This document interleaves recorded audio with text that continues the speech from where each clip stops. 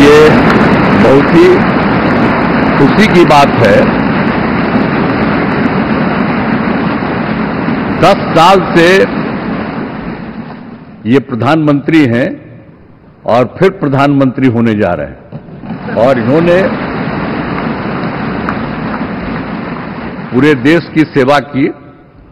अब पूरा भरोसा है कि जो कुछ भी बचा है, अगली बार ये सब पूरा कर देंगे। जो भी हर राज्य का है। और हम लोग पूरे तौर पर सब दिन इनके साथ रहेंगे।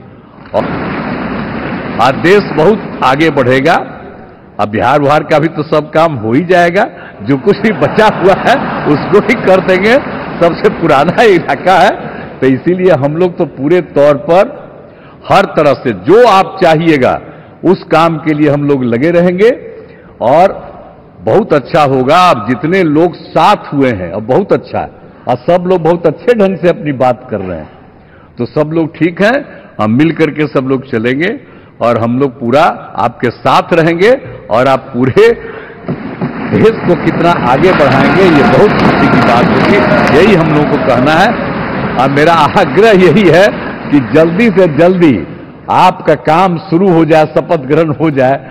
अब आप एतवार को करने वाले हैं। तो हम तो चाहते थे कि आजो हो जाता तो अच्छा था। लेकिन, लेकिन आपकी जब इच्छा है तो जब भी हो जितना तेज़ी से काम हो जाए तो बहुत अच्छा है और बहुत अच्छा रहेगा। अब इस बार हम लोगों का इससे बड़ी खुशी होगी और पूरे देश में इसका बहुत ज़्यादा फ़ायदा है।